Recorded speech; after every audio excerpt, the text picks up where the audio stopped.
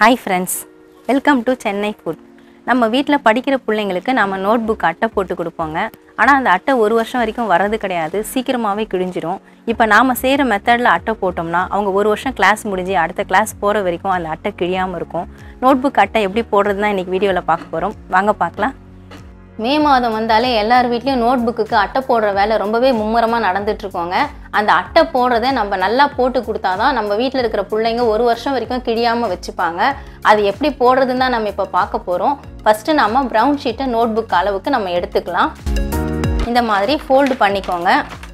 Note புக்கை வச்சுட்டு நீங்கள் ஃபோல்டு பண்ணிக்கலாம். நோட் புக்குடைய இந்த அகலம் பார்த்துட்டு எக்ஸ்ட்ரா இருக்கிற மாதிரி எக்ஸ்ட்ரா ஒரு டூ இன்ச்சஸ் இருக்கிற மாதிரி நான் ஃபோல்டிங் கொடுத்துருக்குறேன் பாருங்கள் அதே மாதிரி இங்கே கீழே பாட்டம்லேயும் ஒரு டூ இன்ச்சஸ் பாட்டம்லேயும் ஒரு டூ இன்ச்சஸ் இருக்கிற மாதிரி வச்சுக்கோங்க. இங்கே டாப்லேயும் நம்ம டூ இன்ச்சஸ் விட்டுட்டு நம்ம இதை அப்படியே கட் பண்ணி எடுத்துக்கலாம்.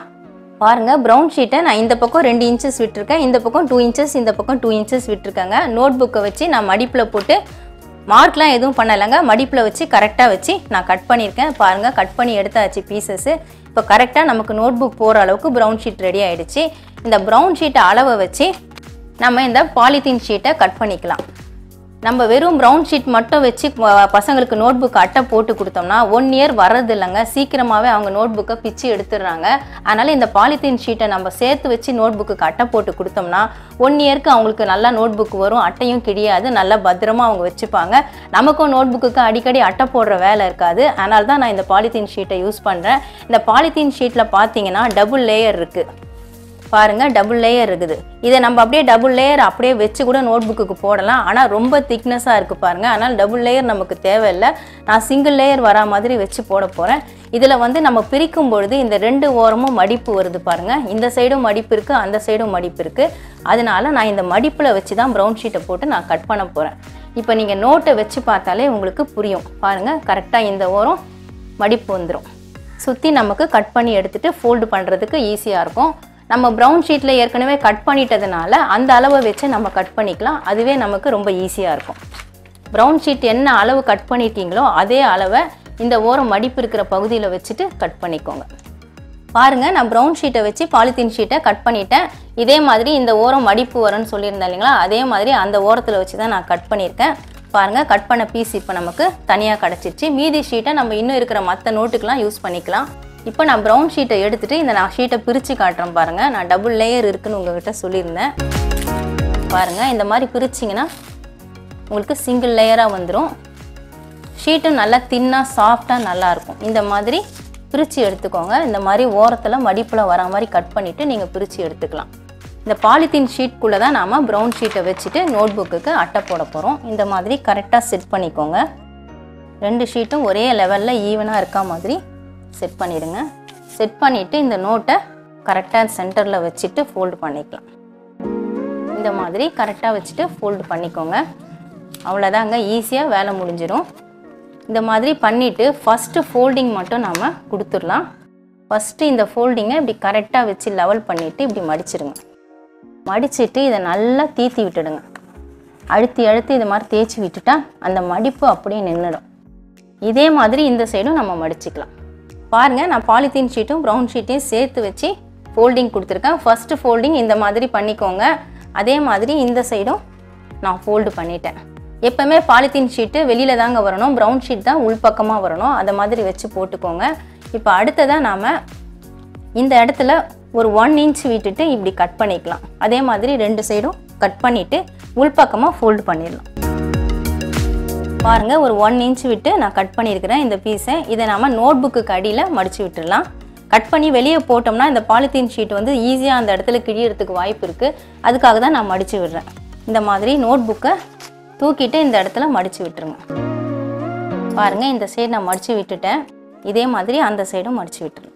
பாருங்கள் இந்த ஓரத்தில் கட் பண்ண பீஸை நான் உள்ளார மடித்து விட்டுட்டேன். அதே மாதிரி இந்த சைடும் மடித்து விட்டுருக்கேன் பாருங்கள் இதே மாதிரி நீங்களும் ஃபோல்டு பண்ணிக்கோங்க ரெண்டு கார்னர்லேயும் இப்போ இது வரைக்கும் நம்ம நல்லா ஃபோல்டிங்லாம் கொடுத்துட்டோங்க. அடுத்ததாக இந்த ரெண்டு ஓரம் தான் நம்ம ஃபோல்டிங் கொடுக்கணும். அந்த ஃபோல்டிங் கொடுக்கறதுக்கு முன்னாடி இந்த பாலித்தீன் ஷீட்டில் பார்த்தீங்கன்னா லேசான சுருக்கம் இருக்குது பாருங்கள் இப்படி கை வச்சு தேய்ச்சி பார்த்தீங்கன்னா உங்களுக்கு தெரியும் லேசான சுருக்கம் இருக்குது உள்ளே வந்து ஏர் ஃபுல்லாகிட்டு கொஞ்சம் நல்லா லைட்டாக தூக்கிட்டு இருக்குது இந்த பாலித்தீன் ஷீட்டு அது தூக்காமல் நல்லா படிஞ்சு வரத்துக்காக நம்ம ஒரு மெத்தடை ஃபாலோ பண்ண போகிறோம் இந்த நோட் புக் மேலே ஒரு டவல் போட்டுக்கோங்க. காட்டன் டவலாக யூஸ் பண்ணிக்கோங்க. இந்த மாதிரி நோட் புக்கை க்ளோஸ் பண்ண மாதிரி போட்டுக்கோங்க. போட்டுட்டு அயன் பாக்ஸை நல்லா ஹீட் பண்ணிவிட்டு சுவிட்ச் ஆஃப் பண்ணிவிடுங்க பண்ணிவிட்டு இது மேலே வச்சு இப்படியே லைட்டாக தேய்ச்சி விடுங்க. இந்த மடிப்புகள்லாம் இருக்கிற இடத்துலலாம் நல்லா தேய்ச்சி விடுங்க. நல்லா மடிப்பு படிஞ்சு நல்லா ஃபோல்டிங் அப்படியே நிற்கும். இது மாதிரி பண்ணுறதுனால இந்த நோட் புக் அந்த பாலித்தீன் ஷீட்டில் உள்ளே இருக்கிற ஏர்லாம் ரிலீஸ் ஆகிடும் நோட் புக் அந்த பாலித்தீன் ஷீட்டில் இருக்கிற சுருக்கங்களும் போயிடும்.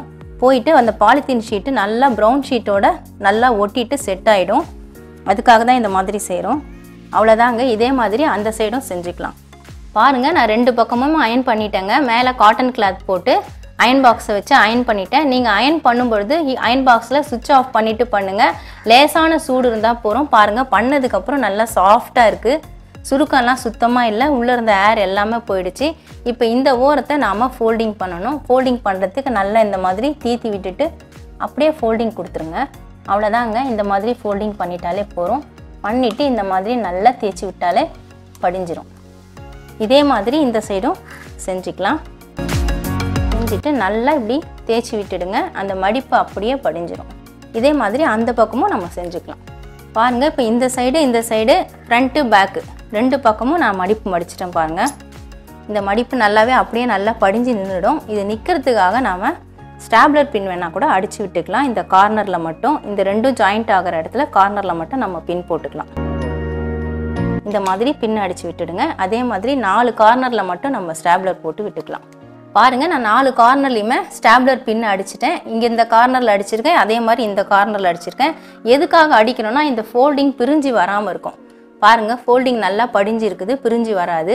நம்ம கையை வச்சு தூக்குனாலோடய வராது அது அப்படியே நல்லா படிஞ்சிருக்கும். அதுக்காக தான் நம்ம ஸ்டாப்லர் பின் போடுறோம். அதே மாதிரி இந்த சைடும் நான் போட்டுட்ருக்கேன். இந்த நாலு கார்னருக்கு மட்டும் ஸ்டாப்லர் பின் போட்டால் போகிறோம் இந்த ஃபோல்டிங் பிரிஞ்சு வராமல் இருக்கிறதுக்காக தான் நாம் போடுறோம். இதே மாதிரி நீங்கள் உங்கள் வீட்டில் இருக்கிற ஸ்கூல் படிக்கிற பிள்ளைங்களுக்கு நோட் புக்குக்கு அட்டை போட்டு கொடுங்க. இது மாதிரி போட்டு கொடுத்தா வருஷத்துக்கு ஒரு முறை நாம் அட்டை போட்டு கொடுத்தா போகிறோங்க இதோட நெக்ஸ்ட் இயர் அவங்க அடுத்த கிளாஸ் மாறும்பொழுது புதுசாக நோட் புக் வாங்கும் பொழுது தான் நம்ம அட்டை போட வேண்டியிருக்கும். அடிக்கடி நமக்கு அவங்களுக்கு அட்டை போட்டு கொடுக்க வேண்டிய வேலையும் இருக்காது அதுக்கான செலவும் இருக்காது. இவங்க இந்த மாதிரி போட்டு கொடுத்தா நோட் புக்கு கிழிக்காமல் அவங்களும் பத்திரமா வச்சுப்பாங்க. கண்டிப்பாக நீங்கள் ட்ரை பண்ணி பாருங்கள் நாம் போட்டு கொடுக்குற நோட் புக் அட்டை ஒரு வருஷம் வரைக்கும் கிழியாமல் ஸ்ட்ராங்காக எப்படி போடுறதுன்னு வீடியோவில் பார்த்துருப்பீங்க.